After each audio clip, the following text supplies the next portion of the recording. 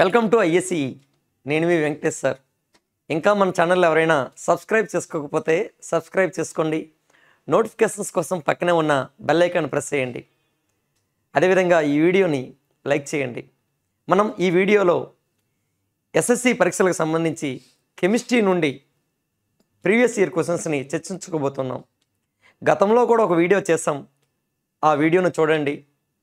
అదేవిధంగా ఈ వీడియో కూడా చూస్తూ నోట్స్ రాసుకోండి ఖచ్చితంగా ఉపయోగపడుతుంది.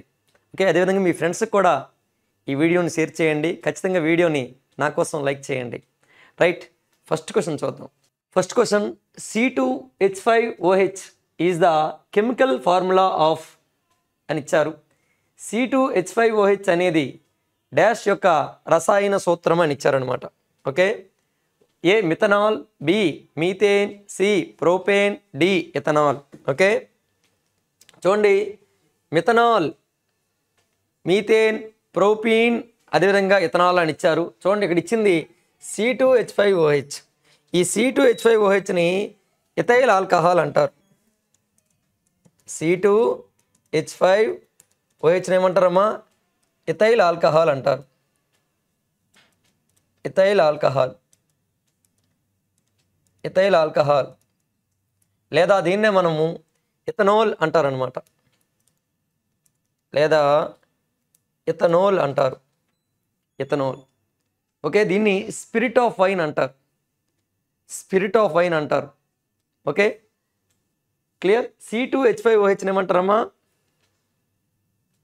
ఇథనాల్ అంటారు. Ethanol okay ethanol. ఇక్కడ చూడండి తెలుగులో ఇథనోల్ అనాలి. ఇథనాల్ అని ఇచ్చారు ఇక్కడ. ఇథనోల్. క్లియర్? ఇథనాల్ అని చెప్తాం అనమాట క్లియర్? అయితే ఆల్కహాల్ తయారు చేసినప్పుడు ఫస్ట్ ట్వంటీ పర్సెంటేజ్ ఆల్కహాల్ వస్తుంది దీనిని వాష్ అంటారు. అంటే ఎయిటీ పర్సెంటేజ్ వాటర్ ఉంటుంది. ఆ ఎయిటీ పర్సెంటేజ్ వాటర్ని ఫ్రాక్షనల్ డిస్టిలేషన్ అంశిక స్వేదనం అనేటువంటి ప్రక్రియ ద్వారా వేరు చేయడానికి ట్రై చేస్తారు ప్రయత్నిస్తారు. ఆ విధంగా ఇరవై శాతం ఓకే వచ్చినటువంటి ఆల్కహాల్ని వాష్ అంటారు. ఆ వాసుని అంశిక స్వేదనం చేస్తారు ఫ్రాక్షనల్ డిస్టిలేషన్ చేసినప్పుడు ఇప్పుడు తొంభై ఆరు శాతం ఎథైల్ ఆల్కహాల్ వస్తుంది. దీనిని రెక్టిఫైడ్ స్పిరిట్ అంటారు. రెక్టిఫైడ్ స్పిరిట్ అంటారు. అంటే ఇంకా నాలుగు శాతం వాటర్ ఉంది. ఆ నాలుగు శాతం వాటర్ని పొడి సున్నం కలుపుతారు సిఏఓ కాల్షియం ఆక్సైడ్. కలపడం ద్వారా వంద శాతం ఆల్కహాల్ వస్తుంది. ఈ వంద శాతం ఆల్కహాల్ని అబ్సల్యూట్ స్పిరిట్ అంటారు. పరమ ఆల్కహాల్ అంటారు. Absolute spirit. అబ్సల్యూట్ స్పిరిట్ అంటారు. పరమ ఆల్కహాల్ అంటారు. సో ఇక్కడ ఆల్కహాల్ తయారు చేసింది ఫార్మాస్యూటికల్ పర్పస్ కోసం. అందుకే దీనికి మిథనోల్ ఆర్ మెథైల్ ఆల్కహాల్ అంటారు. మిథనోల్ అంటే సిహెచ్ త్రీ ఓహెచ్ని మిథనోల్ అంటారమ్మా. మిథనోల్ లేదా మెథైల్ ఆల్కహాల్ని లేదా పిరిడిన్ అనేదాన్ని కలుపుతారు. పిరిడిన్. పిరిడిన్ అనేదాన్ని కలుపుతారు. ఇలా కలపగా వచ్చిన దాన్ని డీ నేచర్డ్ స్పిరిట్ అంటారు. Denatured spirit denatured spirit అంటే అసహజ ఆల్కహాల్ అంటారు. దీనిని కనుక తాగినట్లయితే బ్లైండ్నెస్ వస్తుంది అంధత్వం వస్తుంది దాంతోపాటుగా ఇంకా ఎక్కువైపోతే ఇంకా ఎక్కువ తాగితే మనిషి చనిపోయేటువంటి అవకాశాలు కూడా ఉన్నాయి అన్నమాట ఓకేనా? Right. Next next question. Foods with starch in them will turn blue black when they come in contact with అని ఇచ్చారు. Option A salt option B iodine option C blue litmus option D red litmus. పిండి పదార్థం ఉన్న ఆహారాలు డ్యాష్తో సంబంధంలోకి వచ్చినప్పుడు నీలం నలుపు రంగులోకి మారుతాయి. ఏ ఉప్పు? బి అయోడిన్ సి నీలి లిట్మస్ డి ఎరుపు లిట్మస్. ఓకే? ఇప్పుడు ఒక ఏదైనా ఒక ఫుడ్ ఐటెం తీసుకుందాం. దాన్ని టెస్ట్ ట్యూబ్లో వేసిన తర్వాత ఓకేనమ్మా? రైట్ దీన్ని టెస్ట్ ట్యూబ్లో తీసుకుందాం. టెస్ట్ ట్యూబ్లో తీసుకున్న తర్వాత ఇది ఒక ఫుడ్ ఐటమ్ ఏదైనా. ఓకేనా? ఇది ఒక ఫుడ్ ఐటమ్ అనమాట క్లియర్? ఇది ఒక ఫుడ్ ఐటమ్. దాని లోపలికి ఏం చేయాలంటే ఒకటి నుండి రెండు డ్రాప్స్ మనం ఏం చేయాలంటే అయోడిన్ డ్రాప్స్ వేయాలి. అయోడిన్ డ్రాప్స్ కనుక వేసినట్లయితే అయోడిన్ డ్రాప్స్ కనుక వేసినట్లయితే ఏమవుతుందని అంటే దాని యొక్క కలర్ అనేటువంటిది నీలం నలుపు రంగులోకి మారిపోతుంది అనమాట ఓకేనా? నీలం నలుపు రంగు అంటే బ్లూ బ్లాక్లో మారిపోతుంది. బ్లూ బ్లాక్లోకి మారింది అంటే మనం తీసుకున్నటువంటిది పిండి పదార్థము స్టార్చ్ అని తెలియజేస్తుంది అనమాట ఈ విధంగా పిండి పదార్థాలను టెస్ట్ చేయడానికి ఈ యొక్క అయోడిన్ పరీక్షను నిర్వహించడం జరుగుతుంది. ఓకేనా? కాబట్టి ఇక్కడ ఆప్షన్ బి అనేటువంటిది ఇక్కడ ఆన్సర్ అవుతుంది. Okay? Next question when two gases are released when light when lead nitrate is heated lead నైట్రేట్ను heat చేసినప్పుడు ఏ ఏ వాయువులు విడుదలవుతాయి అని ఇచ్చారు క్వశ్చన్ ఓకే? ఇక్కడ option A option A carbon monoxide మరియు ఆక్సిజన్. ఆప్షన్ బి ఆక్సిజన్ మరియు nitrogen oxide. Option C hydrogen మరియు nitrogen dioxide. Option D nitrogen dioxide మరియు ఆక్సిజన్. ఓకే? ఇవి ఇవ్వడం జరిగింది. సార్ చూడండి. లెడ్ నైట్రేట్ని హీట్ చేస్తే ఏమొస్తాయని నడిచారనమాట ఓకే? లెడ్ నైట్రేట్ అంటే పీబీ ఎన్ఓ త్రీ ట్వైస్. ఈ లెడ్ నైట్రేట్ని వేడి చేయాలి. వేడి చేసినప్పుడు ఏమేమి వస్తాయమ్మా అంటే లెడ్ ఆక్సైడ్ వస్తుంది. ప్లస్ నైట్రోజన్ డయాక్సైడ్ వస్తుంది. ప్లస్ ఆక్సిజన్ వస్తుంది. ప్లస్ ఆక్సిజన్ వస్తుంది. దీన్ని బ్యాలెన్స్ చేయాలి. రైట్ చూడండి. ఇక్కడ ఇక్కడ నైట్రోజన్స్ ఎన్ని ఉంటాయమ్మా ఫోర్ ఉంటాయి కాబట్టి ఇక్కడ ఫోర్. క్లియర్? ఇక్కడ oxygens two eight ten twelve సరిపోయింది. ఇక్కడ కూడా ట్వెల్వ్ సరిపోయింది. Nitrogens two two two two into two four సరిపోయింది సరిపోయింది. అన్నీ కూడా సరిపోతాయి అనమాట ఇక్కడ లెడ్ నైట్రేట్ని హీట్ చేసినప్పుడు అంటే బ్యాలెన్స్ చేయడం అనేటువంటిది మీకు రావాలి అది. నేను ఇప్పటికిప్పుడు చెప్పలేను. ఓకే? ఒకసారి రాసి సరి చూసుకోండి నేను చేసింది రైటా తప్ప అనేది. ఓకేనా? ఎలా చేశాను అనేది మీకు మీకే అర్థమవుతుంది అనమాట క్లియర్ చూడండి ఈ లెడ్ నైట్రేట్ని హిట్ చేసినప్పుడు లెడ్ ఆక్సైడ్తో పాటుగా నైట్రోజన్ డయాక్సైడ్ మరియు ఆక్సిజన్లు రావడం జరుగుతుంది. కాబట్టి ఇక్కడ ఆప్షన్ డి అనేటువంటిది ఇక్కడ కరెక్ట్ ఆన్సర్ అవుతుంది అనమాట ఓకేనా? ఆప్షన్ డి అన్నటువంటిది కరెక్ట్ ఆన్సర్ అవుతుంది. Next question. Which among the following pairs of ore metal is incorrect అన్నారు. ఓకే? ఆప్షన్ ఏ బోర్నైట్ రాగి ఆప్షన్ బి మాగ్నటైట్ ఇనుము అదేవిధంగా ఆప్షన్ సి గెలీనా లెడ్కి సంబంధించింది ఆప్షన్ డి సిన్నబార్ నిఖిల్ అని ఇచ్చారు. ఓకేనా? దీనికి సంబంధించి okay which among the following pairs of ore metal is incorrect తప్పుగా ఇవ్వబడింది ఏదని అడిగారు అనమాట ఒకసారి మనకి ఓర్ అంటే ఏంటి అనేది అవగాహన ఉండాలి. గత వీడియోలో కూడా మనం చెప్పడం జరిగింది. ఓకే చాలా వరకు కూడా మెటల్స్ అనేటువంటివి లోహాలు అనేటువంటివి భూమి లోపల మట్టి కంకర గులకరాలు వీటన్నిటితో కలిసిపోయి సంయోగ స్థితిలో ఉంటాయి అన్నమాట ఓకేనా? వాటిని మనం మినరల్స్ అంటాం. ఏ మినరల్ నుండి మనం మెటల్ని లాభదాయకంగా సంగ్రహించగలమో దానినే ఓర్ అంటారు. ఏ మినరల్ నుండి మనం ఓకేనా ఎకనామికల్లీ మంచిగా మంచి మెటల్ని మనం తీయగలమో ఎక్కువ శాతం మెటల్ తీయగలమో దాన్నే మనం ఏమంటామంటే ఓర్ అని చెప్తాం అనమాట ఓకేనా ఒక్కొక్క లోహానికి కొన్ని ఓర్స్ అనేటువంటి ఉంటాయి. ఒకసారి ఫర్ ఎగ్జాంపుల్ చూసుకున్నట్లయితే మనకి లెడ్ అనేటువంటిది ఉంది. లెడ్ పీబీ అని చెప్తాము ఓకేనా పీబీ లెడ్ అని చెప్తాం. దీనికి గెలీనా అదేవిధంగా ఆంగ్లిసైట్ అనేటువంటివి రెండు ఉంటాయి. గెలీనా ఓకేనా? గెలీనా అదేవిధంగా ఆంగ్లిసైట్ అనేటువంటి ఓర్స్ ఉంటాయి అన్నమాట అంటే ఈ రెండు కూడా ఇక్కడ సీకి సంబంధించినవి రైటే. అదేవిధంగా ఇక్కడ సిన్నబార్ అని ఇచ్చారు నిఖిల్ అని ఇచ్చారు. సిన్నబార్ అనేటువంటి దేనికి సంబంధించింది అనేసి అంటే మెర్క్యూరీకి సంబంధించింది అనమాట మెర్క్యూరీకి సంబంధించినటువంటి ఓరు సో మెర్క్యూరీకి సంబంధించినటువంటి ఓరు సిన్నబార్ కానీ ఇక్కడ నిఖిల్ అని ఇచ్చారు కాబట్టి ఇక్కడ ఓకే ఇది తప్పుగా ఇవ్వబడింది అనమాట అదేవిధంగా మాగ్నటైట్ ఐరన్ అని ఇచ్చారు. ఐరన్కి సంబంధించినటువంటి ఓర్స్ కనుక చూసుకున్నట్లయితే haematite limonite siderite iron pyrite magnetite. ఇవి ఐరన్ యొక్క ores once again hematite limonite siderite iron pyrite magnetite. Okay ఇక్కడ మాగ్నటైట్ అనేది ఇచ్చారు. కరెక్ట్ అనమాట తర్వాత ఇక్కడ చూడండి. బోర్నైట్ కాపర్ అని ఇచ్చారు. ఓకే ఇది కాపర్కి సంబంధించినటువంటి ఒక ఓరు. దీంతో పాటుగా క్యూప్రైట్ అనేటువంటి ఓవర్ కూడా ఉంటుంది. ఒక్కో దానికి నేను చెప్పిన లిమిటెడ్ చెప్తున్నాను. ఇంకా చాలా ఓర్స్ ఉంటాయి. ఓకేనా? అదేవిధంగా క్యూప్రైటు బోర్నైట్ కూడా కాపర్కి సంబంధించినటువంటి ఓర్సే. ఇది కూడా కరెక్ట్ ఇన్ఫర్మేషనే. ఇది ఒకటే తప్పుగా ఇవ్వబడింది కాబట్టి ఇక్కడ ఆప్షన్ డి అనేటువంటిది ఇక్కడ కరెక్ట్ ఆన్సర్ అవుతుంది అనమాట ఓకేనా? Right. Okay next question. Identify the element used in making solar cells. Option A manganese option B bronze option C silicon option D tungsten. Okay? సౌర ఘటాల తయారీలో ఉపయోగించే మూలకాన్ని గుర్తించండి అని ఇచ్చారు. A manganese B కాన్షియం C silicon D tungsten. Okay? సౌర ఘటాలు సోలార్ సెల్స్ తయారీలో దేన్ని ఉపయోగిస్తారని అంటే చాలాసార్లు రిపీటెడ్గా వచ్చినటువంటి క్వశ్చన్ ఇది సిలికాన్ అనే దాన్ని ఉపయోగించడం జరుగుతుంది అనమాట ఓకేనా? సిలికాన్. యాక్చువల్గా సిలికాన్ అనేది ఒక ఎలిమెంట్ ఎలిమెంట్ ఒక మూలకం అని చెప్తాం. బట్ సిలికాన్ డయాక్సైడ్ దీనిని సిలికా అంటారు. సిలికా అంటే ఇసుక అని అర్థం అనమాట శాండ్ అని అర్థం. ఓకే? సిలికాన్ డయాక్సైడ్ అనేటువంటిది సిలికా. ఓకే? కాంపౌండ్ అనమాట అది. Silicon is a element but silica is a compound. Okay? ఈ సిలికా జెల్ ఉంటుందమ్మా. Silica gel. ఈ సిలికా జెల్ని దేనికి ఉపయోగిస్తారంటే సిలికా జెల్ను దేనికి ఉపయోగిస్తారంటే ఇది మాయిశ్చర్ని అబ్జర్వ్ చేసుకోగలదు. అందుకే మందు డబ్బాలు అడుగు భాగాల్లో దీన్ని ఉంచడం జరుగుతుంది. సిలికా జెల్ను ఎక్కడ ఉంచుతారమ్మా? ఆయుర్వేదిక్ ట్యాబ్లెట్స్ ఉంటాయి కదా ఆయుర్వేదిక్ ప్రోడక్ట్స్ ఏవైనా ఉంటే ట్యాబ్లెట్స్ లాంటివి.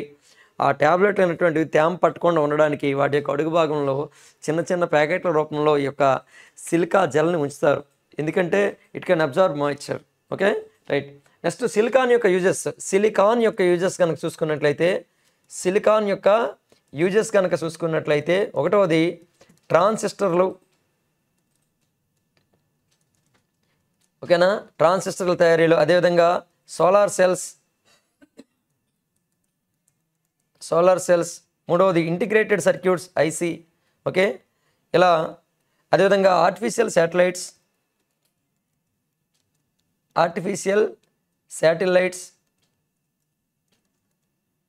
artificial satellites వీటన్నింటిలో కూడా ఈ యొక్క సిలికాన్ యూజ్ చేయడం జరుగుతుంది అనమాట ఓకే? కాబట్టి ఇక్కడ ఇచ్చినటువంటి క్వశ్చన్కి ఆన్సర్ సిలికాన్ అవుతుంది. టంగస్టన్ మనకు తెలుసు. టంగస్టన్ ఫిల్మెంట్ని ఎక్కడ వాడతారమ్మా? ఎలక్ట్రికల్ బల్బుల్లో వాడతారు. దీని యొక్క మెల్టింగ్ పాయింట్ ఎంతమ్మా అంటే three thousand four hundred twenty two degree centigrade. So tungsten ఫిల్మెంట్కి ఎక్కువ మెల్టింగ్ పాయింట్ ఉంటుంది. అంత వేగంగా కరిగిపోవడం అంటూ జరగదనమాట ఓకేనా? కాబట్టి టంగస్టన్కి మెల్టింగ్ పాయింట్ ఎంత అనేది చాలా ఎగ్జామ్స్లో అడిగాడు. Three thousand four hundred twenty two degrees. ఓకేనా? నెక్స్ట్ అమ్మా ఇక్కడ బ్రాంజ్ అనేది ఇచ్చారు. బ్రాంజ్ అంటే కాంస్యం అనమాట ఓకేనా? కంచు అంటాము. కంచు అని చెప్తాము. ఇది రాగి మరియు తగరంల కలయిక అంటే కాపర్ ప్లస్ టిన్నుల కలయిక అనమాట బ్రాంజ్ అంటే. బ్రాంజ్ అనేది ఒక అలాయ్ ఓకేనా? ఇది కాపర్ ప్లస్ టిన్ అంటే కాపర్ మరియు తగరంల కలయికే కంచు అనమాట ఓకేనా? నెక్స్ట్. మాంగనీస్ గురించి ఇంకా మాట్లాడుకున్నట్లయితే స్త్రీ పురుష ప్రత్యుత్పత్తికి తప్పనిసరిగా కావాల్సినటువంటి ఎలిమెంట్ అది ఓకేనా? So essential element for reproduction ఖచ్చితంగా మాంగనీస్ అనేటువంటిది అవసరం అనమాట ఓకేనా? Right next question sixth question dash is use to manufacture fertilizers synthetic fibres plastics adhesives paints and dyes option A bases option B sulphuric acid option C soda ash option D nitric acid okay ఎరువులు synthetic fibres plastics జిగుర్లు paints మరియు అద్దకంలను తయారు చేయడానికి దేన్ని ఉపయోగిస్తారని ఇచ్చాడనమాట. Okay ఇక్కడ option A క్షారాలు bases option B sulphuric acid అదేవిధంగా option C soda ash option D నత్రిక ఆమ్లము అంటాం అనమాట ఓకేనా? ఇక్కడ దేన్ని ఉపయోగిస్తారు అనేది ఒకసారి చూసుకున్నట్లయితే రైట్ చూడండి అమ్మా ఎరువులు సింథటిక్ ఫైబర్స్ ప్లాస్టిక్లు జిగుర్లు పెయింట్స్ మరియు అద్దకాలను తయారు చేయడానికి అంటే డైస్ని తయారు చేయడానికి సల్ఫ్యూరిక్ యాసిడ్ని వాడతారనమాట ఓకేనా? సల్ఫ్యూరిక్ యాసిడ్ని వాడడం అనేది జరుగుతూ ఉంటుంది. సల్ఫ్యూరిక్ యాసిడ్ని వాడతారనమాట హెచ్ టూ ఎస్ఓ ఫోర్ని హెచ్ టూ ఎస్ఓ ఫోర్ని కింగ్ ఆఫ్ కెమికల్స్ అంటారు. King of chemicals okay king of chemicals అని చెప్తారు. అంటే రసాయనాల రాజు అని చెప్తారు. రసాయనాల రాజు ఓకేనా? ఇవన్నీ తయారీకి ఎస్టీఎస్ఎఫ్ఓని ఉపయోగిస్తారు. ఒక దేశం అనేది పారిశ్రామికంగా ఎంత అంటే ఇండస్ట్రియల్లీ ఎంత డెవలప్ అయ్యింది అనేటువంటిది దేనిపైన ఆధారపడి ఉంటుందంటే ఆ దేశం ఉత్పత్తి చేసే మరియు వినియోగించుకున్నటువంటి హెచ్ టూ ఫోర్ని బట్టి మనం చెప్తాం. ఓకే? అంటే హెచ్ టూ ఎస్ఓ ఫోర్ ఎక్కువ వాడుతున్నారు అంటే ఆ దేశంలో ఎక్కువ ఇండస్ట్రీలు ఉన్నాయని అర్థం. అంటే పారిశ్రామికంగా ఆ దేశం అభివృద్ధి చెందిందని మనం చెప్పొచ్చు అనమాట ఓకేనా? ఇలా చాలా వరకు ఇండస్ట్రీస్లో దీన్ని వాడతారు కాబట్టి దీన్ని కింగ్ ఆఫ్ కెమికల్స్ అంటారు లేదా ఆయిల్ ఆఫ్ విట్రియాల్ అంటారు అనమాట ఓకేనా? ఆయిల్ ఆఫ్ విట్రియాల్ అని కూడా అంటారు. ఆయిల్ ఆఫ్ విట్రియోల్ అని చెప్తారు. ఆయిల్ ఆఫ్ విట్రియాల్ ఇంకా నైట్రిక్ అనేది ఉంటుంది కదా ఆప్షన్ డి ఇక్కడ నైట్రిక్ హెచ్ఎన్ఓ త్రీ అని చెప్తాము నైట్రిక్ యాసిడ్ అని చెప్తాము నైట్రిక్ యాసిడ్. ఓకేనా? దీన్ని ఆక్వా ఫోర్టిస్ అంటారమ్మా. ఓకే ఆక్వా ఫోర్టిస్ అంటారు ఆక్వా ఫోర్టిస్ అంటారు.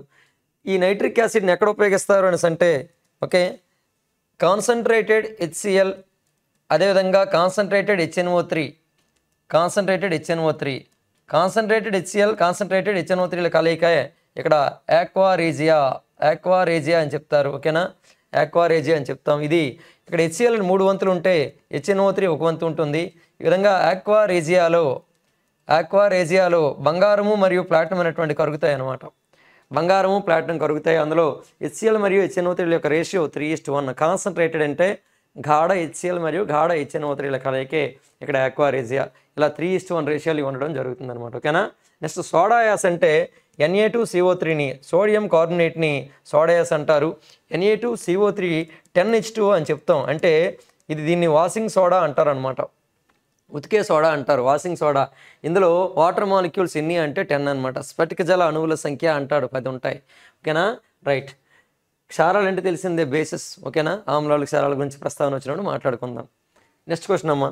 Okay next question milk and face cream are examples of అన్నారు. Option A emulsion. Option B aerosol. Option C foam. Option D sol. Okay పాలు మరియు face cream దేనికి ఉదాహరణలు ఇచ్చారు? ఓకేనా? రైట్ ఒకసారి చూడండి. మనకు సస్పెన్షన్స్ కొలాయిడ్స్ అని రెండు ఉంటాయమ్మా. సస్పెన్షన్స్ కొలాయిడ్స్ అని ఉంటాయి. ఇవన్నీ కూడా కొలాయిడ్స్లో ఉన్నటువంటి టైప్స్ అనమాట కొలాయిడ్స్లో ఉన్నటువంటి టైప్స్. ఓకేనా? కొలాయిడ్స్లో ఎక్కువగా ఉండేటువంటి దాన్ని డిస్పర్సింగ్ మీడియం అంటారు. తక్కువగా ఉండేదాన్ని డిస్పర్స్డ్ ఫేజ్ అంటారు. ఓకే? రైట్. గ్యాస్లో లిక్విడ్ అయితే దాన్ని ఏరోసోల్ అని గ్యాస్లో సాలిడ్ అయితే దాన్ని ఏరోసోల్ అని చెప్తారు. లిక్విడ్లో గ్యాస్ అయితే దాన్ని ఫోమ్ అని లిక్విడ్లో లిక్విడ్ అయితే దాన్ని ఎమల్సన్ అంటారు. అదేవిధంగా లిక్విడ్లో సాలిడ్ అయితే దాన్ని సోల్ అంటారు. అదేవిధంగా సాలిడ్లో గ్యాస్ అయితే దాన్ని ఫోమ్ అంటారు. సాలిడ్లో లిక్విడ్ అయితే దాన్ని జెల్ అంటారు. సాలిడ్లో సాలిడ్ అయితే దాన్ని సాలిడ్ సోల్ అంటారు అనమాట ఓకేనా? రైట్. ఇప్పుడు ఫేస్ క్రీమ్ అనేటువంటిది ఎట్లాంటిది అని అడిగారు. ఓకేనా? ఫేస్ క్రీమ్ అనేటువంటిది ఎట్లాంటిది అని ఇచ్చారు. ఫేస్ క్రీమ్ అనేటువంటిది ఒక ఎమల్షన్. అదేవిధంగా మిల్క్కి సంబంధించి కూడా చాలాసార్లు అడగడం జరిగింది. మిల్క్ అనేది కూడా ఎమల్షన్ అని చెప్తాం అనమాట ఓకేనా? ఈ టేబుల్ని బైహెడ్ చేసుకోండి. మీకు ఎట్లాంటి క్వశ్చన్ వచ్చినా సరే చేయడానికి అవకాశం ఉంటుంది అనమాట ఓకేనా? Right next question. Which is one of the by product formed when sodium sulphate reacts with barium chloride okay sodium sulphate barium క్లోరైడ్తో చర్య జరిపినప్పుడు ఏర్పడే ఉప ఉత్పన్నం ఏది? అన్నాడు. Option A sodium oxide option B sodium chloride option C barium oxide option D barium hydroxide okay ఒకసారి చూసుకున్నట్లయితే sodium sulphate అంటే ఎన్ఏ టు ఎస్ఓ ఫోర్ అని చెప్తారు. సోడియం సల్ఫేట్ అనేది బేరియం క్లోరైడ్ అంటే బిఏసిఎల్ టూ అనే దాంతో రియాక్ట్ అయినప్పుడు ఏర్పడేటువంటి ఉప ఉత్పన్నాలు చూసుకున్నట్లయితే ఓకే ఇక్కడ సోడియం బేరియం సల్ఫేట్ వస్తుంది. ఇది మెయిన్ ప్రోడక్ట్ అనమాట దాంతోపాటుగా సోడియం క్లోరైడ్ వస్తుంది. ఇది బై ప్రోడక్ట్ ఓకే ఇంకా బేరియం సల్ఫేట్ అనేటువంటిది మెయిన్ ప్రోడక్ట్ అనమాట దాని తర్వాత బై ప్రోడక్ట్ ఏదంటే ఎన్ఎస్సిఎల్ ఓకే ఇక్కడ అడిగింది ఏంటమ్మా అనేసి అంటే బై ప్రోడక్ట్ ఏది అన్నాడు ఇక్కడ సోడియం క్లోరైడ్ అనేటువంటిది బై ప్రోడక్ట్ అవుతుంది అనమాట clear right next question base changes the colour of the red litmus to dash option A blue option B purple option C pink option D yellow క్షారం dash రంగుగా ఎరుపు litmus రంగును మారుస్తుంది. Option A నీలం. B ఊదా. C pink D పసుపు. ఇక్కడ చూడండి ఒకసారి. ఓకే. యాసిడ్స్ అనేటువంటివి ఆమ్లాలు అని చెప్తాము యాసిడ్స్ అంటే ఆమ్లాలు. ఇవి బ్లూ లిట్మస్ని రెడ్గా చేంజ్ చేస్తాయి. అదేవిధంగా బేసెస్ అయినటువంటివి బేసెస్ అయినటువంటివి రెడ్ లిట్మస్ను బ్లూగా చేంజ్ చేస్తాయి. ఓకే బ్లూ లిట్మస్ని రెడ్గా మార్చేవి యాసిడ్స్ అయితే రెడ్ లిట్మస్ను బ్లూగా మార్చేవి బేసెస్. ఇక్కడ క్షారం అనేది ఓకేనా? డ్యాష్ రంగుగా ఎరుపు లిట్మస్ రంగును మారుస్తుంది. రెడ్ని ఎలా మారుస్తుందమ్మా? బ్లూగా మారుస్తుంది అనమాట ఓకేనా? బ్లూగా మార్చడం అనేది జరుగుతుంది అనమాట క్లియర్? ఇక్కడ నీలం అనేటువంటిది ఇక్కడ ఆప్షన్ అవుతుంది. Okay tenth question. Limestone chalk and marble are different forms of అని ఇచ్చారు. ఓకే? సున్నప్రాయి శుద్ధ మరియు పాలరాయి డ్యాష్ యొక్క విభిన్న రూపాలు అని ఇచ్చారనమాట option A calcium oxide option B calcium carbonate option C calcium hydroxide option D calcium phosphate. Okay? ఒకసారి చూడండి. కాల్షియం ఆక్సైడ్ను కాల్షియం ఆక్సైడ్ దీనిని పొడి సున్నము అని చెప్తారు. పొడి సున్నము అంటే క్విక్ లైమ్ అని అర్థం అనమాట క్విక్ లైమ్ పొడి సున్నం అంటే క్విక్ లైమ్ ఈ పొడి సున్నానికి వాటర్ కలిపినప్పుడు మనకు వచ్చేది తడి సున్నము అంటే కాల్షియం హైడ్రాక్సైడ్. దీన్ని మిల్క్ ఆఫ్ లైమ్ అంటారనమాట ఓకేనా? Milk of lime or slaked lime అంటారు.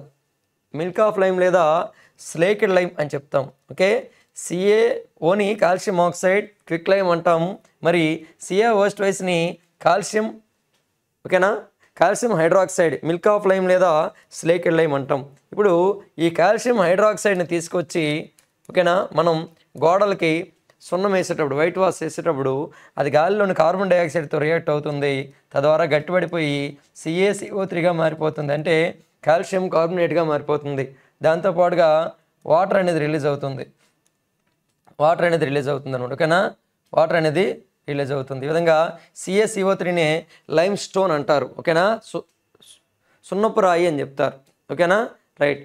అంటే శుద్ధ ముక్క ఉంది కదమ్మా? అదే అనమాట ఇలా సున్నపు రాయి అని చెప్తారనమాట ఓకేనా? అంటే శుద్ధరాయి అని కూడా అనొచ్చు. ఈ విధంగా C S E O three ఈ కాల్షియం కార్బోనేట్ ఎక్కడెక్కడ ఉంటుందంటే ఎక్సెల్ అంటాం గుడ్డు యొక్క పెంకు అదేవిధంగా సున్నపు రాయి ఈ మార్బుల్ కానివ్వండి వీటన్నింటిలో కూడాను సిఎస్ఈఓ త్రీ ఉండడం జరుగుతుంది. ఇది క్వశ్చన్ ఇంకో విధంగా అడుగుతాడు. సున్నపు తేటను పాలవలే మార్చే వాయువేది అని అంటాడు. సున్నపు తేటను పాలవలే మార్చే వాయువేది అంటే కార్బన్ డైఆక్సైడ్ అనమాట ఓకేనా? రైట్. ఇది లెక్క. చూడండి లైమ్ స్టోన్ చాక్ మార్బుల్ ఇవన్నీ కూడా C A C O three అంటే కాల్షియం కార్బోనేట్ యొక్క ఫార్మ్స్ అనమాట ఇవన్నీ కూడా ఓకేనా? Right next question. What is the atomic mass of nitrogen అని ఇచ్చారు. Okay? What is the atomic mass of nitrogen nitrogen పరమాణు ద్రవ్యరాశి ఎంత అని ఇచ్చాడు అనమాట ఓకేనా? పరమాణు ద్రవ్యరాశులు కనుక మనం చూసుకున్నట్లయితే ఒకటవది హైడ్రోజన్. హైడ్రోజన్. హైడ్రోజన్ యొక్క పరమాణు ద్రవ్యరాశి ఒకటి. సో ఇక్కడ అటామిక్ నెంబర్ ఇది ఇదేమో అటామిక్ మాస్. అటామిక్ నెంబర్ ఇది అంటే పరమాణు సంఖ్య ఇది atomic mass. Okay hydrogen one one point zero zero eight అని ఇలా ఉంటుంది. కానీ ఆ జీరో జీరో ఎయిట్ అనేటువంటిది ఇది చిన్న నెంబర్ కాబట్టి వన్ అని రాసిస్తాం. రెండవది హీలియం దీని యొక్క అటామిక్ మాస్ ఫోర్. మూడవది లిథియం అటామిక్ మాస్ సెవెన్. నాలుగవది బెరీలియం అటామిక్ మాస్ నైన్. ఐదవది బోరాన్ లెవెన్. ఓకే? ఆరవది carbon okay twelve. Seven నైట్రీ nitrogen fourteen. Eight oxygen sixteen. అదేవిధంగా nine fluorine nineteen. Ten neon twenty. Okay? అదేవిధంగా పదకొండవది sodium twenty three పన్నెండు magnesium twenty four పదమూడు aluminium twenty seven పద్నాలుగు silicon twenty eight పదిహేను phosphorus thirty one పదహారు sulphur thirty two seventeen chlorine thirty five point five పద్దెనిమిది argon forty nineteen potassium thirty nine twenty calcium forty. ఇలా ఈ right side రాసిందంతా కూడా చూడండి ఈ వాల్యూస్ అన్నీ కూడాను ఈ వాల్యూస్ అన్నీ కూడాను పరమాణు ద్రవ్యరాశి అటామిక్ మాస్ అనమాట ఇక్కడ నైట్రోజన్కి సంబంధించినటువంటి పరమాణు ద్రవ్యరాశి ఎంత మైనస్ అంటే ఓకే ఫార్టీన్ అని చెప్తాం అనమాట ఓకే రైట్ కాబట్టి ఇక్కడ ఫోర్టీన్ అని గుర్తుపెట్టుకుంటే సరిపోతుంది. Next question okay next question పన్నెండవ question. Which among the following elements behaves like alkali metals as well as halogens in its properties option A neon option B hydrogen option C lithium option D helium క్రింది మూలకాలలో క్షారలోహాలు అలాగే హ్యాలోజన్ల వల్ల ప్రవర్తించే మూలకం ఏది అని అన్నాడు. ఇక్కడ ఆప్షన్ ఏ అనేటువంటిది నియాన్ అని ఇచ్చారు. Option B hydrogen option C lithium option D helium అని ఇచ్చారు అనమాట ఓకేనా క్షారలోహాలు అదేవిధంగా హ్యాలోజన్ల వల్ల ప్రవర్తించేది ఏది అని అన్నాడు. అంటే ఆల్కలీ మెటల్స్ అదేవిధంగా హ్యాలోజన్స్లా రెండిట్లా బిహేవ్ చేసేటువంటి ఎలిమెంట్ ఏది అని ఇచ్చారనమాట ఒకసారి చూడండి అమ్మ ఒకసారి. మనకి దీని గురించి ఐడియా రావాలి అనేసి అంటే okay one A group elements అని ఉంటాయి. Okay one A group elements one A or first group elements ఏవేవి అంటే ఒకసారి చూడండి. Hydrogen lithium sodium potassium rubidium caesium francium. Okay ఇవన్నీ వన్య గ్రూప్ ఎలిమెంట్స్. తర్వాత ఈ వన్య గ్రూప్ ఎలిమెంట్స్లో హైడ్రోజన్ తప్ప మిగిలిన ఈ lithium sodium potassium rubidium caesium francium వీటిని ఏమంటామంటే ఆల్కలీ మెటల్స్ అంటారు. ఆల్కలీ మెటల్స్ అంటారు అనమాట ఓకేనా? రైట్. ఆల్కలీ మెటల్స్ అంటారు. క్షారలోహాలు అని చెప్తారు. ఎందుకంటే హైడ్రోజన్ అనేటువంటిది మెటల్ కాదు. నాన్ మెటల్ అనమాట కాబట్టి lithium sodium potassium rubidium caesium francium వీటిని ఆల్కలీ మెటల్స్ అని చెప్తారనమాట ఇప్పుడు హైడ్రోజన్ అనేది నాన్ మెటల్. వాస్తవంగా దీన్ని ఇక్కడ ఉంచకూడదు. కానీ ఉంచారనమాట ఓకేనా? అడ్జస్ట్మెంట్ కోసం ఉంచడం జరిగింది. తర్వాత హ్యాలోజన్స్ కనుక చూసుకున్నట్లయితే హ్యాలోజన్స్ అనేటువంటివి సెవెన్ ఏ. ఓకేనా?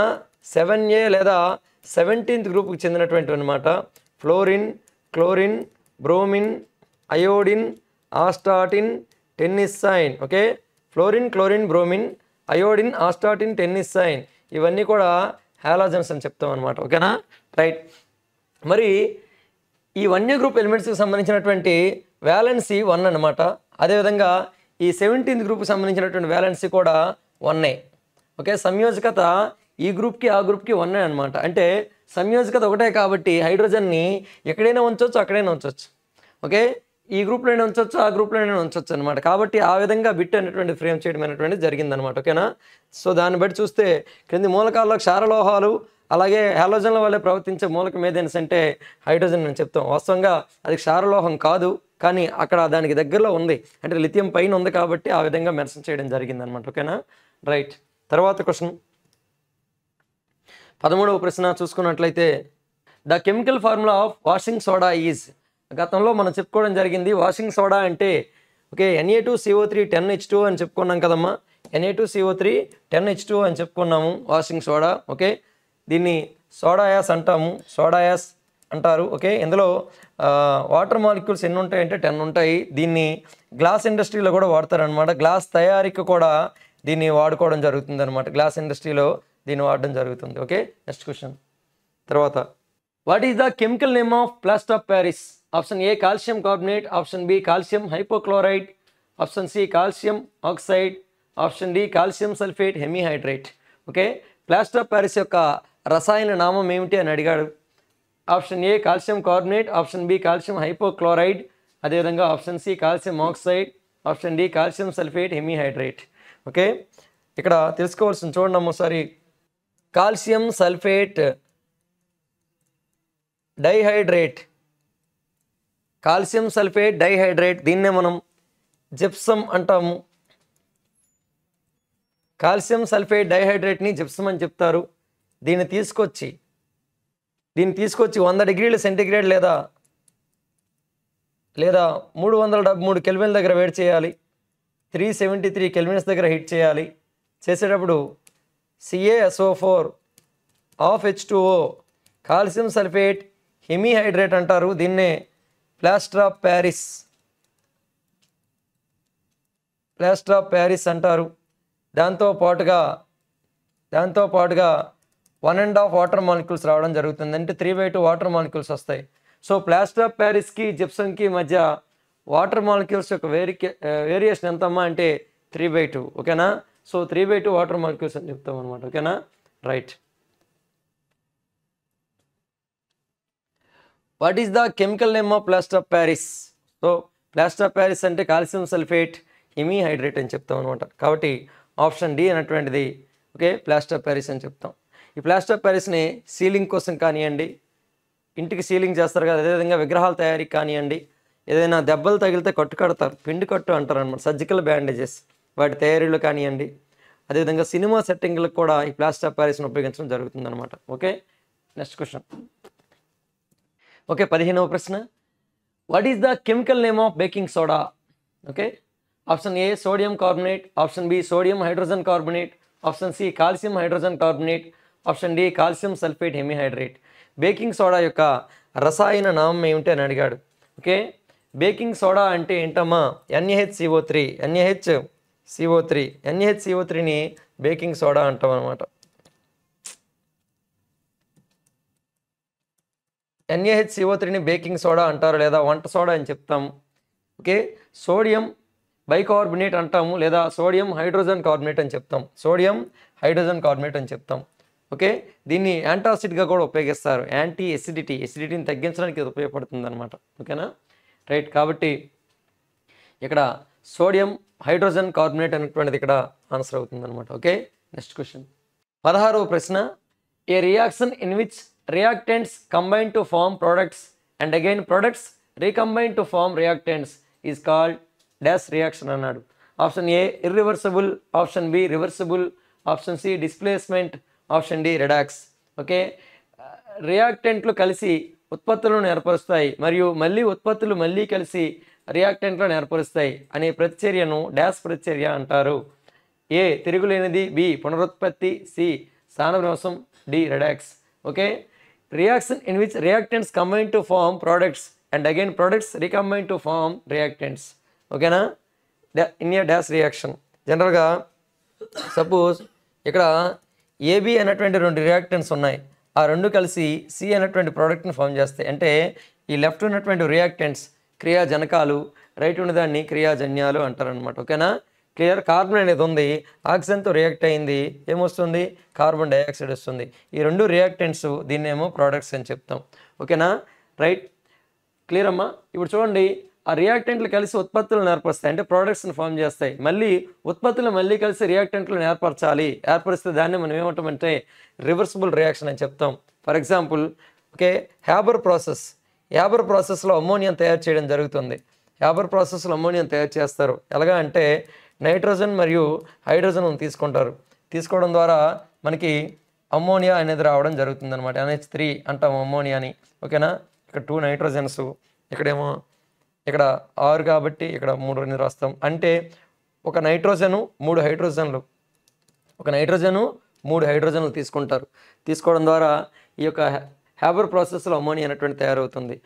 మళ్ళీ అమ్మోనియా నుండి ఈ నైట్రోజన్ని మరియు హైడ్రోజన్ని మళ్ళీ పొందొచ్చు అనమాట ఇలా వీటి నుండి అంటే నైట్రోజన్ని హైడ్రోజన్ నుండి అమ్మోనియాని అమ్మోనియా నుండి మరలా నైట్రోజన్ని హైడ్రోజన్ని పొందగలం దీన్నే మనం ఏమంటామంటే ఓకే రివర్సిబుల్ రియాక్షన్ అని చెప్తాం అనమాట మరలా పొందలేకపోతే దాన్ని ఇర్రివర్సిబుల్ రియాక్షన్ అని చెప్తారు. ఓకే ఇక్కడ ఆప్షన్ బి అనేటువంటిది ఇక్కడ కరెక్ట్ ఆన్సర్ అవుతుంది. నెక్స్ట్ క్వశ్చన్ పదిహేడవ ప్రశ్న. How does white silver chloride turn grey in sunlight option A due to the displacement of silver chloride to silver oxide option B due to the decomposition of silver chloride into silver and chlorine by light option C due to rusting of silver in the presence of oxygen option D due to redox reaction సూర్యకాంతిలో తెలుపు silver chloride ఎలా బూడిద రంగులోకి మారుతుంది option A silver chloride silver oxide option A silver chloride silver ఆక్సైడ్కి స్థానభ్రంశం చెందడం వల్ల. Option B కాంతి ద్వారా సిల్వర్ క్లోరైడ్ సిల్వర్ మరియు క్లోరిన్గా వేరు చేయడం వల్ల. ఆప్షన్ సి ఆక్సిజన్ సమక్షంలో సిల్వర్ తుప్పుపడడం వల్ల. ఆప్షన్ డి రెడాక్స్ ప్రతిచర్య కారణంగా అన్నాడు. Okay?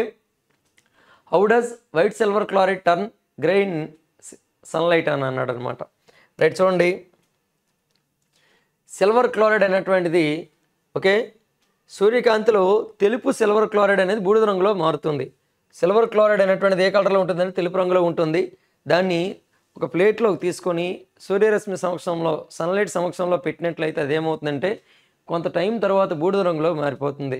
ఇలా మారడానికి కారణం ఏంటమ్మా అంటే ఫోటో కెమికల్ రియాక్షన్ అనమాట ఓకేనా? రైట్ ఫోటో కెమికల్ రియాక్షన్ అంటే కాంతి రసాయన చర్య. అక్కడ సిల్వర్ ప్లస్ క్లోరిన్లుగా స్ప్లిట్ అయిపోద్ది. కాంతి తగ్గడం ద్వారా కాంతి సమక్షంలో ఉంచడం ద్వారా సిల్వర్ ప్లస్ క్లోరిన్లుగా వేరైపోవడం అనేది జరుగుతుందనమాట కాబట్టి ఇక్కడ కాంతి ద్వారా సిల్వర్ క్లోరైడ్ సిల్వర్ మరియు క్లోరిన్గా వేరు చేయడం వలన ఇదంతా జరుగుతుంది. కాబట్టి ఇక్కడ ఆప్షన్ బి అనేటువంటిది ఇక్కడ కరెక్ట్ ఆన్సర్ అవుతుంది అనమాట ఆప్షన్ బి అనేటువంటిది ఇక్కడ ఆన్సర్ అవుతుంది అనమాట క్లియర్? రైట్. నెక్స్ట్ క్వశ్చన్ అమ్మా. Which gas is released on burning of natural gas? Okay. Option A hydrogen sulphate. Option B ozone option C carbon dioxide option D hydrogen okay సహజ వాయువును కాల్చినప్పుడు ఏ వాయువు విడుదలవుతుంది అని అన్నారు. Option A hydrogen sulphate option B ozone option C carbon dioxide option D hydrogen okay ఇక్కడ natural గ్యాస్లో ఎక్కువగా ఉండేది ఏదమ్మా అంటే నేచురల్ గ్యాస్ అయినటువంటిది ఇందులో మీథేన్ అనేది ఉంటుంది సిహెచ్ ఫోర్ ఈ మీథేన్ని మండించడం అంటే గాలిలో నాక్సిజన్ సమక్షంలో మండించినప్పుడు మనకి ఆటోమేటిక్ ఏమొస్తుంది అంటే ఇక్కడ కార్బన్ డైఆక్సైడ్ వస్తుంది అదేవిధంగా వాటర్ వేపర్ రావడం జరుగుతుంది అనమాట హెచ్ టూ అనేటువంటిది రావడం జరుగుతుంది అనమాట ఓకేనా? రైట్ ఇక్కడ మీథేన్తో పాటుగా ఏమొస్తుందమ్మా? వాటర్ వేపర్ రావడం జరుగుతుంది అనమాట ఇక్కడ చూడండి కార్బన్లు ఒకటి ఉన్నాయి అక్కడ ఒకటి ఉంది. ఇక్కడ హైడ్రోజన్లు ఏమో నాలుగు ఉన్నాయి అక్కడ రెండు ఉన్నాయి కాబట్టి ఇక్కడ రెండు అనేది ఇచ్చామనుకోండి ఓకేనా? రైట్ అప్పుడు ఆక్సిజన్లు కనుక చూసుకున్నట్లయితే ఇక్కడ రెండు ఉన్నాయి అక్కడేమో ఓకే? నాలుగు ఉన్నాయి కాబట్టి ఇక్కడ ముందు రెండు అనేది ఇద్దాం ఓకేనా? ఇక్కడ రెండు అనేది ఇద్దాం. దాన్ని బట్టి మనకి ఈజీగా ఓకే? అర్థమైపోతుంది. అంటే సరిచేసాను నేను. ఈ విధంగా మీథేన్ని ఆక్సిజన్ సమక్షంలో మండించినప్పుడు మనకి కార్బన్ డైఆక్సైడ్ వస్తుంది మెయిన్లీ. ఓకే? ఏమొస్తుందమ్మా అంటే కార్బన్ డైఆక్సైడ్ అంటే ఆప్షన్ సి అనేటువంటిది ఇక్కడ కరెక్ట్ ఆన్సర్ అవుతుంది. ఓకే? Next question. పంతొమ్మిదవ ప్రశ్న chemical formula for the marble is అన్నారు. Okay? Option A C A O S twice. Option B C O two. Option C C A C O three option D C A O. Okay? పాలరాయి యొక్క రసాయనం అన్నాడు. ఓకేనా? Already నేను చెప్పడం జరిగింది C A C O three. ఓకేనా? C A C O three అనేటువంటిది పాలరాయి యొక్క రసాయనం అని చెప్పుకోవడం జరిగింది అనమాట ఓకేనా? మార్బుల్ యొక్క మార్బుల్ కానివ్వండి చాక్ కానివ్వండి లైమ్ స్టోన్ ఇవన్నీ కూడా అదేవిధంగా ఎక్సెల్లో సిఏసిఓ త్రీ ఉంటుందని చెప్పడం జరిగింది. ఇది కూడా ఒక మెటల్ కార్బొనేట్. అంటే కాల్షియం అనేది ఒక మెటల్ కాబట్టి ఇది ఒక మెటల్ కార్బొనేట్ అని చెప్తాం. Next question. How is quick lime formed అని ఇచ్చారు. Option A by displacement of calcium oxide and calcium carbonate option B by decomposition of calcium oxide and water option C by decomposition of calcium carbonate and calcium hydroxide option D by decomposition of calcium carbonate into calcium oxide and carbon dioxide on heating పొడి సున్నం ఎలా ఏర్పడుతుందని ఇచ్చారు? Okay option A calcium oxide మరియు calcium కార్బోనేట్ను స్థానభ్రంశం చెందించడం ద్వారా అదేవిధంగా ఆప్షన్ బి కాల్షియం ఆక్సైడ్ మరియు నీరుగా వేరు చేయడం ద్వారా సి కాల్షియం కార్బొనేట్ మరియు కాల్షియం హైడ్రాక్సైడ్గా విడదీయడం ద్వారా డి కాల్షియం కార్బొనేట్ను కాల్షియం ఆక్సైడ్ మరియు కార్బన్ డైఆక్సైడ్గా విడదీయడం ద్వారా వేడి చేయడం ద్వారా అని ఇచ్చారనమాట ఓకేనా? ఇక్కడ మనం చూసుకున్నట్లయితే పొడిసోనం ఎలా ఏర్పడుతుంది? క్విక్ లైమ్ అనేటువంటిది ఏ విధంగా ఫామ్ అవుతుంది అని ఇచ్చారనమాట క్విక్ లైమ్ ఎలా ఎలా వస్తుందమ్మా అంటే ఆల్రెడీ నేను చెప్పడం జరిగింది సిఏఓ అంటే సిఏఓ అంటే quick lime C A O S twice అంటే milk of lime C A C O three అంటే లైమ్ స్టోన్ అని చెప్పడం జరిగింది. సిఏసిఓ త్రీని హీట్ చేస్తాం అనుకోండి. హీట్ చేస్తే ఏమవుతుందమ్మా అంటే C A O plus C O టూగా స్ప్లిట్ అవుతుంది అనమాట సిఏఓ ప్లస్ సిఓ టూగా విడిపోతుంది. అంటే పొడి సున్నము మరియు కార్బన్ డైఆక్సైడ్గా విడిపోవడం జరుగుతుంది కాబట్టి ఇక్కడ ఆప్షన్ డి అనేటువంటిది ఇక్కడ ఆన్సర్ అవుతుంది అనమాట ఓకేనా? Right clear next question which of the given statements is correct option first statement అనమాట acid turns red litmus blue second ఇచ్చినటువంటి statement acids are better in taste okay ఇచ్చిన వాక్యాల్లో ఏది సరైందని ఇచ్చారు. ఒకటవది ఆమ్లం ఎరుపు రంగును నీలి రంగులోకి మారుస్తుంది. అదేవిధంగా ఆమ్లాలు రుచిలో చేదుగా ఉంటాయని ఇచ్చారనమాట ఓకేనా? ఏది కరెక్ట్ అని ఇచ్చారనమాట ఇక్కడ? ఇక్కడ యాక్చువల్గా ఆమ్లాలు అనేటువంటివి బ్లూ లెట్మస్ని రెడ్గా మారుస్తాయి. కానీ ఇక్కడ రెడ్ లెట్మస్ని బ్లూగా మారుస్తాయని ఇచ్చారు. ఇది తప్పు అనమాట అదేవిధంగా ఆమ్లాలు రుచిలో పుల్లగా ఉంటాయి. షోర్ టు టేస్ట్ అని చెప్తాం. యాసెస్ అనేటువంటివి. బేసిస్ అనేటువంటివి బెటర్ టు టేస్ట్ అంటే చేదుగా ఉంటాయి. సోపీ టు టచ్ అంటే పట్టుకుంటే సబ్బులా జారిపోతాయి అనమాట ఇచ్చినటువంటివి రెండు కూడా ఇక్కడ తప్పు కాబట్టి ఇక్కడ ఆప్షన్ ఏ అనేటువంటిది ఇక్కడ ఆన్సర్ అవుతుంది. ఓకేనా? నైదర్ వన్ అదేవిధంగా నార్ టూ అనేటువంటిది ఇక్కడ ఆన్సర్ అవుతుంది అనమాట next question identify an element that is not a semi metal okay కింద వాడిలో సెమీ మెటల్ కానిది ఏది అని ఇచ్చాడు. సీజియం సిలికాన్ జెర్మేనియం ఆర్సెనిక్ ఓకేనా? ఇక్కడ సెమీ మెటల్స్ ఏవేవి అంటే ఓకే మెటలాయిడ్స్ అంటాము. బోరాను సిలికాను జెర్మేనియము ఆర్సెనిక్ ఓకేనా? అదేవిధంగా టెల్లూరియము పొలోనియం టెలూరియం పోలోనియం లాంటివి ఇక్కడ మనకి అద్దలోహాలుగా చెప్తాం. ఓకేనా? క్లియర్ ఇక్కడ ఇచ్చినటువంటిది మనం చూసుకున్నట్లయితే సీజీఎం అనేది ఉంది. ఓకే? సీజీఎం అనేటువంటిది ఒక మెటల్ అనమాట ఇది. మనం ఫస్ట్ గ్రూప్లో చెప్పుకున్నాం కదా hydrogen lithium sodium potassium rubidium caesium francium అని చెప్పుకున్నాం. ఓకేనా? ఇది ఒక ఆల్కలీ మెట్లు. కాబట్టి ఇక్కడ సిలికాన్ జెర్మేనియం ఆర్సినిక్ అనేటువంటివి అక్కడ అద్దలోహాలు లేదా సెమీ మెటల్స్ అవుతాయి. ఒక సీజియం మాత్రం ఇక్కడ ఆల్కలీ మెటల్ అవుతుంది కాబట్టి కానిది ఏది అన్నాడు కాబట్టి ఇక్కడ సీజియం అనేటువంటిది ఆన్సర్ అవుతుంది అనమాట రైట్ నెక్స్ట్ క్వశ్చన్ ఇరవై మూడో ప్రశ్న what are the products formed when lead reacts with copper chloride okay సీసము copper క్లోరైడ్తో చర్య జరిపినప్పుడు ఏర్పడే ఉత్పత్తులు ఏమిటి అని అన్నారు. మీకు ఆన్సర్ తెలిసినట్లయితే కింద కామెంట్ సెక్షన్లో కామెంట్ చేయండి. Okay right option A lead oxide మరియు రాగి. ఆప్షన్ బి లెడ్ ఆక్సైడ్ మరియు copper hydroxide. Option C lead chloride మరియు copper. Option D copper oxide మరియు లెడ్ క్లోరైడ్. ఓకే? రైట్. చూడమ్మా what are the products formed when lead reacts with copper chloride P B అనేటువంటిది copper chloride సియుసిఎల్తో react అయినప్పుడు అప్పుడు ఏమొస్తుందంటే P B C L two అంటే lead chloride దాంతో పాటుగా కాపర్ అనేది రావడం జరుగుతుంది అనమాట లెడ్ క్లోరైడ్తో పాటుగా కాపర్ అనేది వస్తుంది. అంటే ఇక్కడ ఆప్షన్ సి అనేటువంటిది ఇక్కడ ఆన్సర్ అవుతుంది అనమాట క్లియర్ సో ఇక్కడ లెడ్ అనేటువంటిది వెళ్ళి సియుని డిస్ప్లేస్ చేసేస్తుంది పక్కకు పంపించేస్తుంది అనమాట దాని ప్లేస్లోకి ఇది చేరిపోతుంది. ఆ విధంగా ఇది రసాయన స్థానభ్రంశము అంటాము కెమికల్ డిస్ప్లేస్మెంట్ రియాక్షన్ ఇది. ఓకే రైట్ నెక్స్ట్ క్వశ్చన్ అమ్మా. ఇరవై నాలుగో ప్రశ్న. Which among the following metals is the best conductor of heat option A sodium option B gold option C silver option D iron క్రింది లోహాలలో ఏది ఉత్తమ ఉష్ణవాహకం? Option A sodium option B బంగారం. Option C వెండి. ఆప్షన్ డి ఇనుము. ఓకేనా? లోహాలన్నింటిలో అత్యుత్తమ ఉష్ణ మరియు విద్యుత్వాహక పదార్థం వెండి. దాని తర్వాత రాగి అనమాట the best thermal and electrical conductor ఏదమ్మా? అంటే సిల్వర్ ఆ తర్వాత కాపర్ అని చెప్తాం. ఓకే? రైట్. తర్వాత ఇరవై ఐదో ప్రశ్న. Clear? The best thermal and electrical conductor among all metals ఈ సిల్వర్ ఫాలోడ్ బై కాపర్ అనమాట గుర్తుపెట్టుకోండి. చాలాసార్లు రిపీట్ అయినటువంటి క్వశ్చన్ ఇది. Next question. Maximum number of electrons that can filled in a shell is given by dash where N is orbit number. Okay? కక్షలో పూరించగల గరిష్ట ఎలక్ట్రాన్ల సంఖ్య డాష్ ద్వారా ఇవ్వబడుతుంది. ఇక్కడ ఎన్ అనేది కక్ష్య సంఖ్య అని ఇచ్చాడనమాట. ఓకేనమ్మా? రైట్ ఇది పరమాణు కేంద్రకము అని చెప్తారు.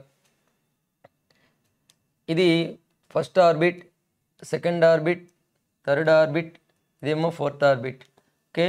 రైట్ ఇది N equal to one K shell అంటారు. N equal to two L shell అంటారు. N equal to three M shell అంటారు N equal to four N shell అంటారు. ఒక ఆర్బిట్లో ఉన్నటువంటి గరిష్ట ఎలక్ట్రాన్ల ఫార్ములా టూ ఎన్ స్క్వేర్ అని చెప్తాం. ఆ విధంగా చూస్తే టూ ఎన్ స్క్వేర్ అంటే టూ ఇంటూ వన్ స్క్వేర్ ఎంతమ్మా? టూ ఇక్కడ ఇక్కడ రెండు ఎలక్ట్రాన్స్ ఉంటాయని అర్థం. తర్వాత రెండవది చూసుకున్నట్టే టూ టూ ఎన్ స్క్వేర్ అంటే అక్కడ ఎన్ వాల్యూ టూ వేసాం అనుకోండి ఎయిట్ వస్తుంది అనమాట ఇక్కడ. తర్వాత టూ ఇంటూ త్రీ స్క్వేర్ ఎంత ఎంతమ్మా eighteen two into four square ఎంత? ఎంత థర్టీ టూ ఆ విధంగా ఒక ఆర్బిట్లో ఉన్నటువంటి ఎలక్ట్రాన్స్ నెంబర్ని ఈ విధంగా ఈ టూ ఎన్ స్క్వేర్ అనేటువంటి ఫార్ములాను ఉపయోగించి మనం తెలుసుకోవచ్చు. అయితే ఈ formula N equal to four వరకు మాత్రమే అది అప్లికేబుల్ అవుద్ది అనమాట ఓకేనా?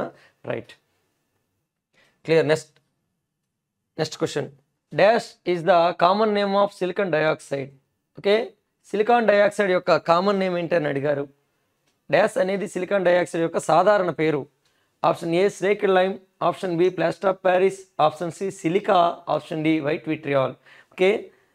సున్నపు నీరా ప్లాస్టర్ ఆఫ్ ప్యారిసా సిలికానా వైట్ విట్రియాల్ అని అడిగారు అనమాట అంతకు ముందు క్వశ్చన్స్లోనే మనం చెప్పుకోవడం జరిగింది. ఓకే?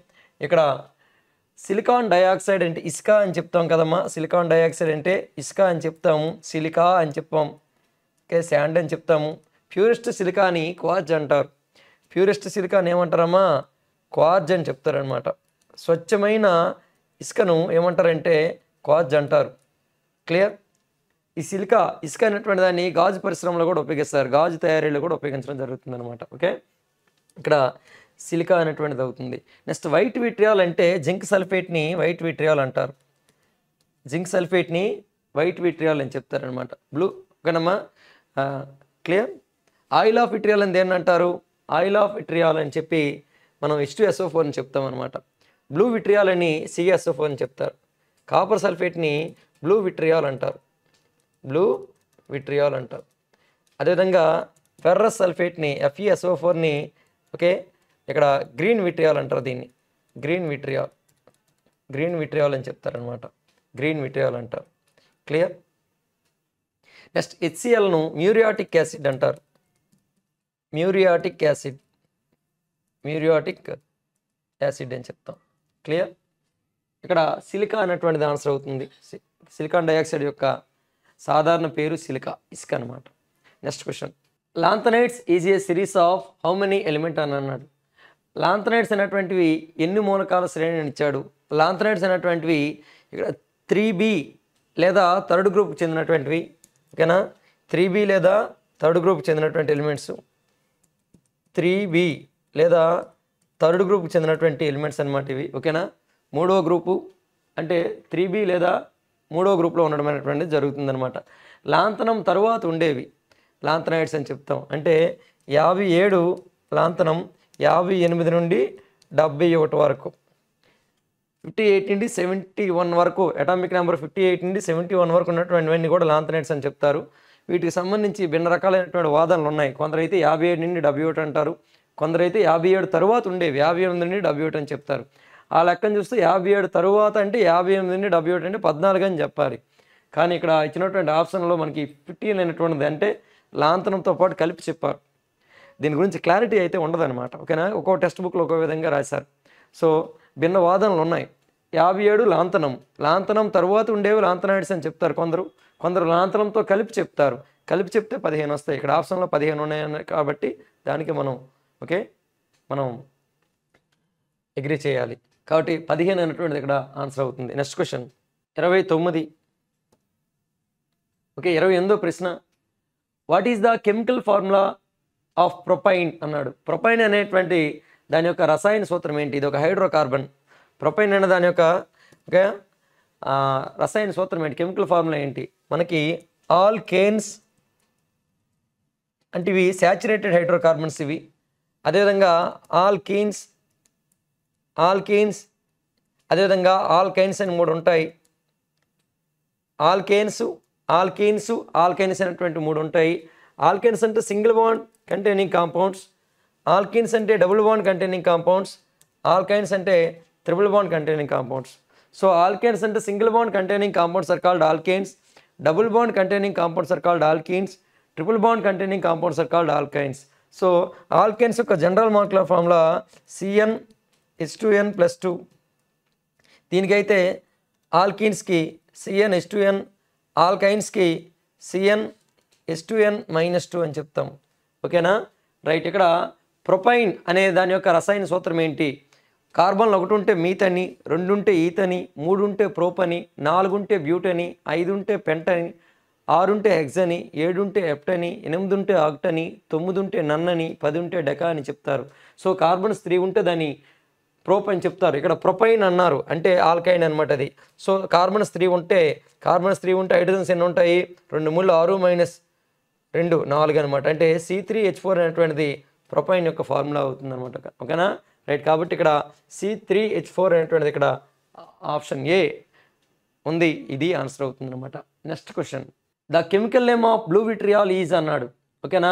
ఇప్పుడే చెప్పడం జరిగింది. దీని గురించి మరి ఎక్స్ప్లెనేషన్ కూడా అవసరం లేదు. సియుఎస్ఓ ఫోర్ కాపర్ సల్ఫేట్ అనేటువంటిది ఓకేనా?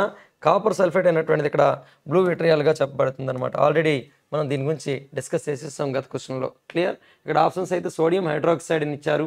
Sulphuric acid zinc sulphate copper sulphate అని ఇచ్చారు. సోడియం హైడ్రాక్సైడ్ అనేటువంటిది కాస్టిక్ సోడా అంటారమ్మ దీన్ని. కాస్టిక్ సోడా అంటారు. కాస్టిక్ సోడా అదే కేఓహెచ్ అనుకోండి పొటాషియం హైడ్రాక్సైడ్ని కాస్టిక్ పొటాస్ అంటారు అనమాట ఓకేనా? సబ్బులు డిటర్జెంట్లు అదేవిధంగా రేయాన్ ఫైబర్స్ అంటాం ఓకేనా? ఆర్టిఫిషియల్ సిల్క్నే రేయాన్ అంటారు వాటి యొక్క తయారీలో సోడియం హైడ్రాక్సైడ్ని ఉపయోగించుకోవడం జరుగుతుంది అనమాట ఓకేనా? రైట్. ఇక్కడైతే కాపర్ సల్ఫేట్ అని అందరికీ తెలిసిందే బ్లూ విట్రియాల్ అంటే okay? Right. Next question. Identify an element identify an element that does not belong to the third period కింద వానలో థర్డ్ పీరియడ్కి చెందంది ఏదని ఇచ్చాడనమాట okay? Bromine phosphorus argon silicon. Okay? ఒక ఎలిమెంట్ ఇచ్చి అది ఎన్నో పీరియడ్కి చెందింది అని చెప్పాలంటే ఒక ఈజీ ట్రిక్ ఏంటంటే మనం గుర్తుంచుకోవాల్సింది టూ టెన్ ఎయిటీన్ అదేవిధంగా thirty six fifty four eighty six one one eight అనేటువంటివి ఇవి జడవాయువులు అంటారు. ఎనర్ట్ గ్యాసెస్ యొక్క నెంబర్స్ మనం కంఠస్థ పెట్టుకుని సరిపోతుంది. ఇది ఒకటో పీరియడ్ రెండు మూడు అంటే ఫస్ట్ పీరియడ్ రెండుతో ఎండ్ అవుతుంది. సెకండ్ పీరియడ్ పదితో ఎండ్ అవుతుంది. అంటే ప్రతి పీరియడ్కి ఎండింగ్లో ఏముంటాయి? జడవాయువులే ఉంటాయి. Inert gases are noble gases ఉంటాయి అనమాట ఎయిటీన్త్ గ్రూప్ అవి. ఇలా ఫోర్త్ పీరియడ్ దీంతో ఎండ్ అవుతుంది. ఫిఫ్త్ పీరియడ్ దీంతో ఎండ్ అవుతుంది. సిక్స్త్ పీరియడ్ దీంతో ఎండ్ అవుతుంది. సెవెంత్ పీరియడ్ దీంతో ఎండ్ అవుతుంది. ఇక్కడ బ్రోమిన్ అని ఇచ్చారు. ఓకేనా? బ్రోమిన్ చూసుకున్నట్లయితే మనకి ఎక్కడ ఉంటుందమ్మా అనేసి అంటే హ్యాలోజన్స్లో ఉంటుంది. చూసుకున్నట్లయితే fluorine chlorine bromine iodine astatine అదేవిధంగా టెన్నిసన్ అనేటువంటివి హ్యాలోజన్స్ అనమాట seventeenth group. Fluorine atomic number nine chlorine ఏమో సెవెంటీన్ బ్రోమిన్ ఏమో థర్టీ ఫైవ్. ఆ విధంగా బ్రోమిన్ యొక్క అటామిక్ నెంబర్ ఎంత అమ్మా అంటే థర్టీ ఫైవ్ అనమాట ఓకేనా? అదేవిధంగా పాస్పరస్ అన్నాడు. ఓకేనా? అటామిక్ నెంబర్ ఎంత అమ్మా అంటే ఫిఫ్టీన్ అనమాట ఓకే? అదేవిధంగా ఆర్గాన్ అన్నాడు. ఆర్గాన్ అనేటువంటిది అటామిక్ నెంబర్ ఎయిటీన్ అని చెప్తాము. సిలికాన్ ఏమో ఫోర్టీన్ అనమాట ఓకేనా?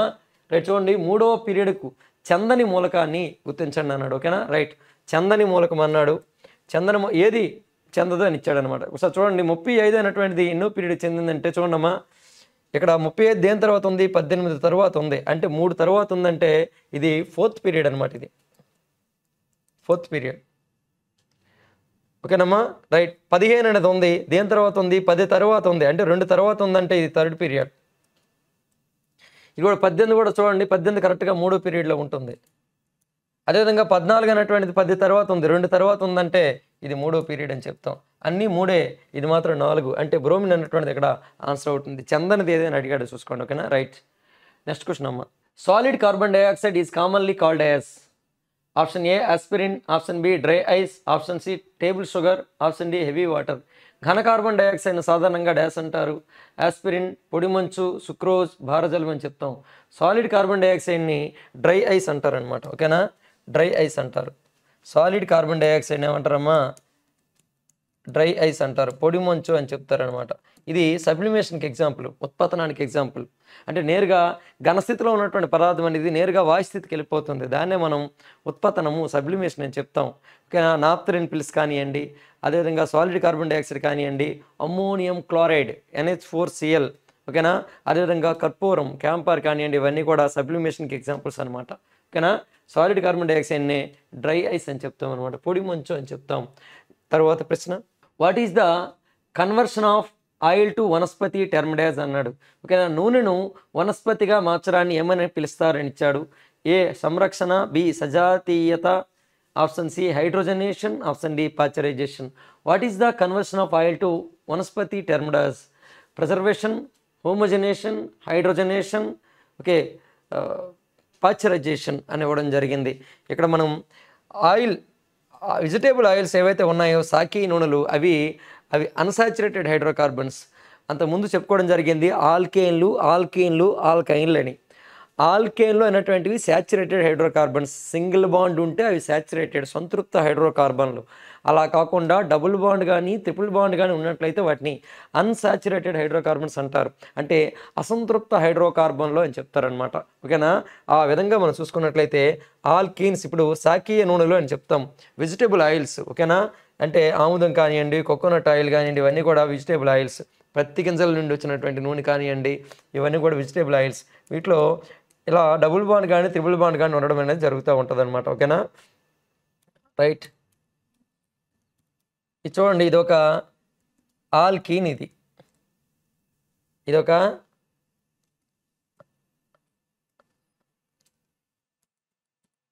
ఆల్కీన్ ఇది క్లియర్ అమ్మా?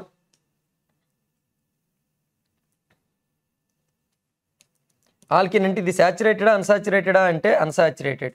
అంటే సాకీయ నూనెలు వెజిటేబుల్ ఆయిల్స్ అనేటువంటివి అన్సాచురేటెడ్ అనమాట వీటిని తీసుకొచ్చి హైడ్రోజనేషన్ అనేటువంటి ప్రాసెస్ చేస్తారు. హైడ్రోజన్ కలుపుతారు. దేని సమక్షంలో అంటే నికెల్ అనేటువంటి కెటలిస్ట్ సమక్షంలో. ఓకేనా? నికెల్ అనేటువంటి ఉత్ప్రేరకం సమక్షంలో హైడ్రోజన్ కలుపుతారు.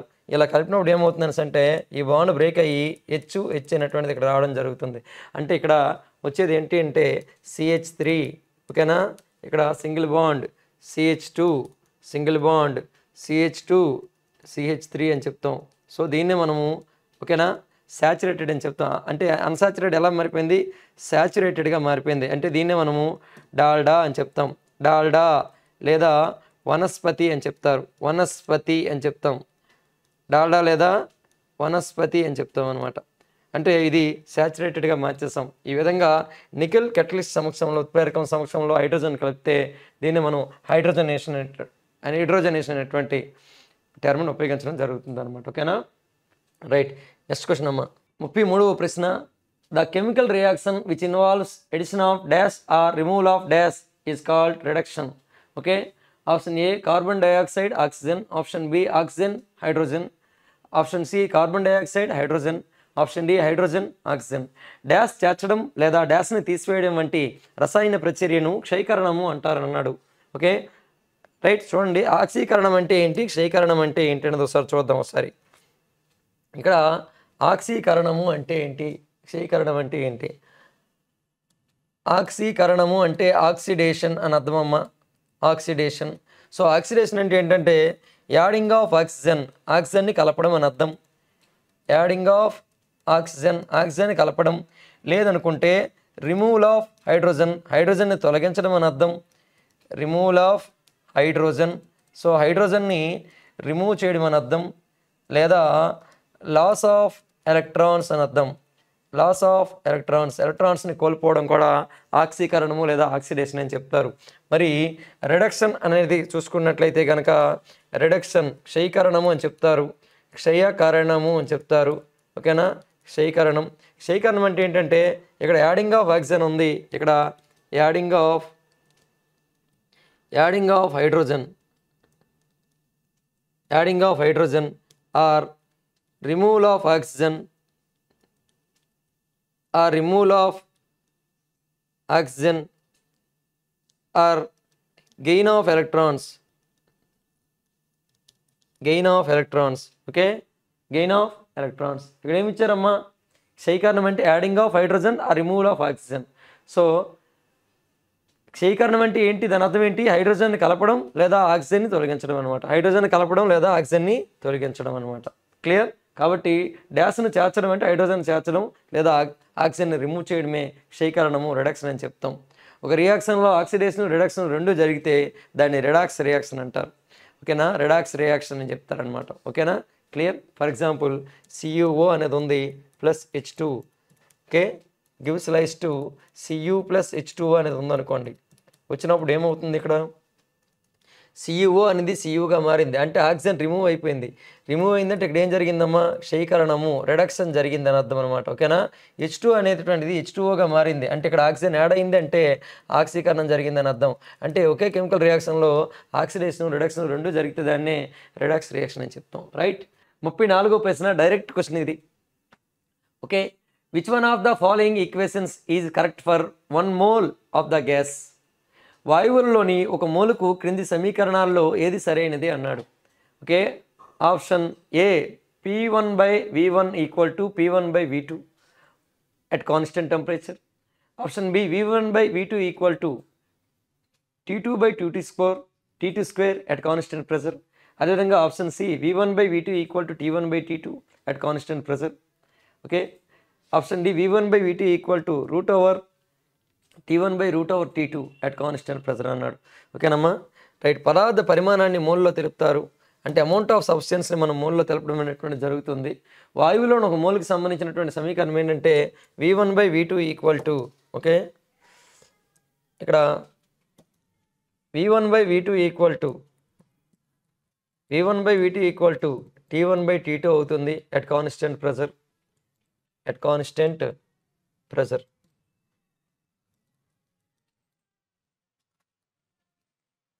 clear? Right. Option C అనేటువంటిది ఇక్కడ ఆన్సర్ అవుతుంది అనమాట నెక్స్ట్ క్వశ్చన్. ముప్పై ఐదో ప్రశ్న లాస్ట్ ప్రశ్న అనమాట ఇదే. Yeast and hydrogen peroxide create dash అని ఇచ్చాడు. ఈస్ట్ మరియు హైడ్రోజన్ పెరాక్సైడ్ డ్యాష్ని సృష్టిస్తాయి. Oxygen monoxide oxygen carbon dioxide carbon. జనరల్గా yeast and hydrogen peroxide. Hydrogen peroxide అనేటువంటిది ఒక ఆక్సిడైజింగ్ ఏజెంట్. ఆక్సిజన్ ఇస్తుంది. హైడ్రోజన్ పెరాక్సైడ్ కానీ K M N O four potassium permanganate కానీ K two C R two O seven potassium dichromate కానీ K C L O three potassium chlorate కానీ K N O three potassium nitrate కానీ these are all oxidising agents so hydrogen peroxide ఉందంటే doubt లేదు. గ్యారంటీగా oxygen ఇస్తుంది అనమాట ఓకేనా ఇక్కడ ఆప్షన్ ఏమవుతుంది అంటే ఆప్షన్ బి అనేటువంటిది అవుతుంది ఆక్సిజన్ అనేటువంటిది అవుతుంది అనమాట ఓకేనా right thank you thank you for watching this video ఇలాంటి మరిన్ని వీడియోల కోసం వెంటనే మన ఛానల్ని సబ్స్క్రైబ్ చేసుకోండి. Thank you for watching this video your Venkateshwar sir